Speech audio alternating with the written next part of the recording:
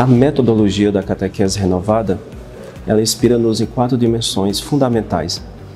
A primeira é a própria pessoa, porque nós estamos saindo do refresco do que propõe para nós o Concílio Vaticano II, sobretudo, em que se destaca a pessoa como a primeira destinatária dessa catequese, mas também a sua experiência. E nesta sua experiência, diz a catequese renovada, não é apenas aquilo que ela viveu, mas também a experiência como lugar, como espaço da manifestação de Deus. Isso atribui a esta pessoa um terceiro elemento, que é a dimensão comunitária, uma experiência de fé que se faz também na comunidade.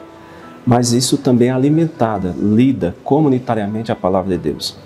E a palavra de Deus é aquela ponto X do qual se hierarquiza os elementos fundamentais.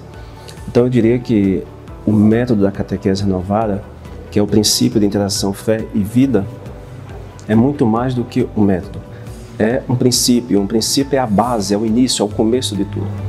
E na história a igreja não priorizou apenas um método exclusivo, mas ela foi anunciando o evangelho a partir das fases inúmeras dos contextos culturais e sociológicos e socialmente falando.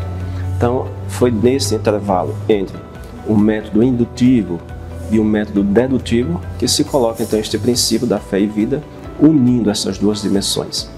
Isso levou um resultado fundamental da catequese renovada para os dias atuais e, sobretudo, nas ressonâncias dos documentos posteriores, que foi a diminuição da intelectualização da catequese mas sim um desenvolvimento agora de um processo que se dá na vida de cada catequizando.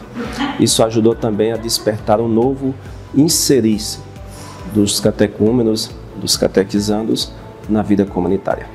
Tudo isso nós poderemos refletir, discutir de modo muito mais pontual, participando do grande evento de 1 a 3 de setembro em Aparecida. Convidamos a você a participar e unir-se presencialmente conosco neste grande evento.